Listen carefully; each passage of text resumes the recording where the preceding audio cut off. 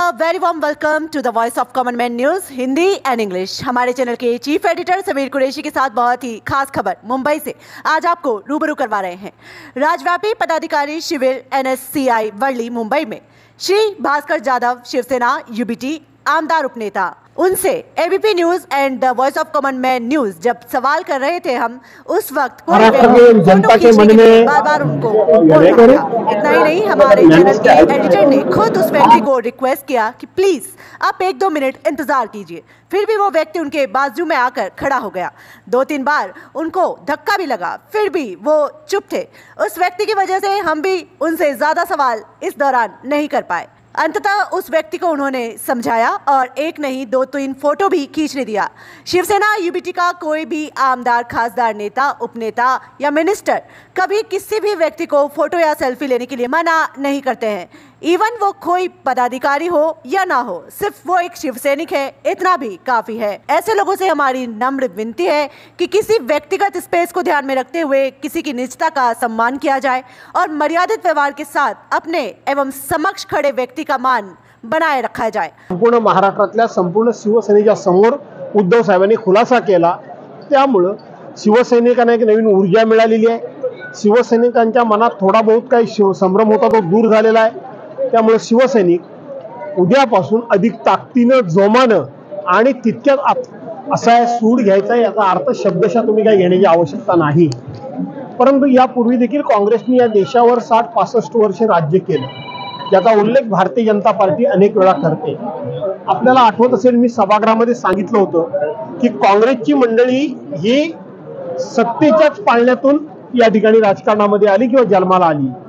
तुमचा कुणीतरी आदर केला तुमच्या विचारांचं कोणीतरी स्वागत केलं तुम्हाला लोकप्रतिनिधी म्हणून मदत केली म्हणून तुम्हाला हे दिवस पाहायला मिळाले. पण आज सत्ता आल्याबरोबर तुम्ही जणू हा सर्वांच्यावर रिव्हेंजच घ्यायचा सूडच घ्यायचा अशा भावनेतूनच भारतीय जनता पार्टीचं कामकाज चालू आहे. आपण बघितलं असाल एकदा सभागृहामध्ये मी प्रश्न विचारला होता देवेंद्र फडणवीसांना की भारतीय जनता पार्टी म्हणून तुमची विचारधारा तुमचा कार्यक्रम तुमचं नेतृत्व स्वीकारून लोक तुमच्या किती पक्षात आले? आणि ED N I A CBI income tax याच्या चौकशा लावल्यामुळे तो लोक तुमच्या किती पक्षात आले? त्याची एकदा आकडेवारी तुम्ही जाहीर करा. भारतीय जनता पार्टीचं उत्तर नव्हतं.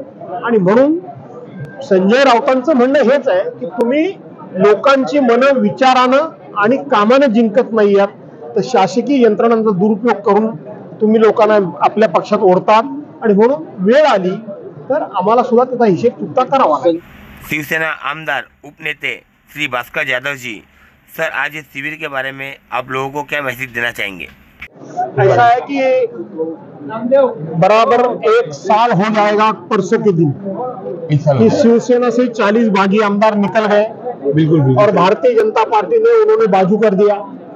तो महाराष्ट्र में शिवसेना के, के मन में या तो महाराष्ट्र के जनता के मन में मन में कितना गुस्सा है कितना रोष है कितनी संताप है इसका प्रदर्शन इसका दर्शन ये पूरे सब जो शिवसेना के लोग आए थे पार्टी वर्कर आए थे उनके यहाँ से वो दिखाई देता है।